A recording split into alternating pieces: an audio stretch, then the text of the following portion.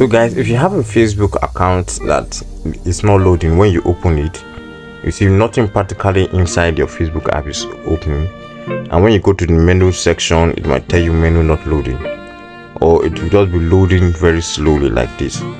So this is how you can resolve this kind of issue. Usually you need a fast internet connection. My internet connection is very slow right now. Because normally if i clear all my recent uh, apps you know and i reopen the facebook app.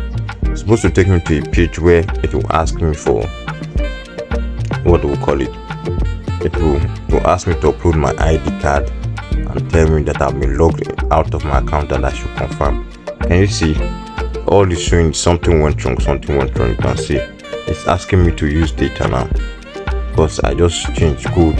Look at the page it's bringing me to. So let's say you want to log out because you see there's no logout button over here now so and you want to log into your other facebook account and probably come here to verify this account later on so all you need to do is you click on get started.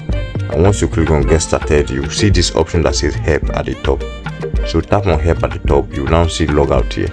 You can now hit on logout and it will log you out of that particular facebook account. And then you can log in into your other facebook account so if this video helped you. Don't forget to hit subscribe button like and share this video